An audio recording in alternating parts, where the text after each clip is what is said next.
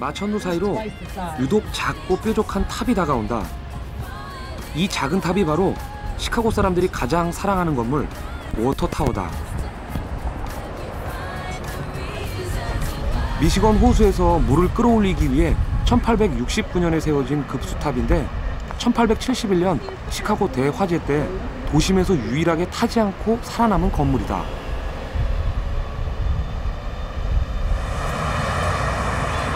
시카고의 모습을 바꿔놨다는 대화재는 어떤 사건일까?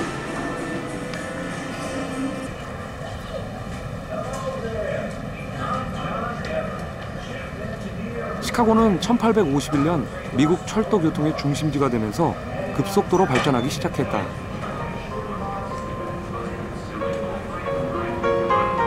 호수가 있어 물도 풍부하고 교통까지 편리해지다 보니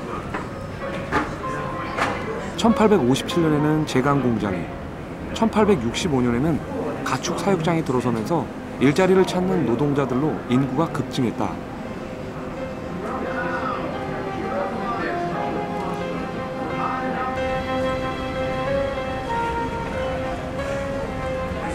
그러던 중에 발생한 1871년 10월 대화재.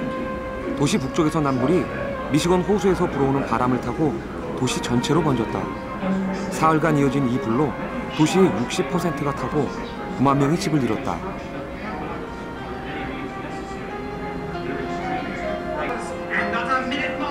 왜 불이 났던 걸까? 캐서린 오렐이라는 사람의 축사에서 소가 뒷발로 등잔불을 걷어차서 일어난 화재라는 이야기가 전설처럼 내려온다. 하지만 이 불행한 사건은 난개발된 공업도시 시카고를 말끔한 계획도시로 탈바꿈시키는 계기가 됐다.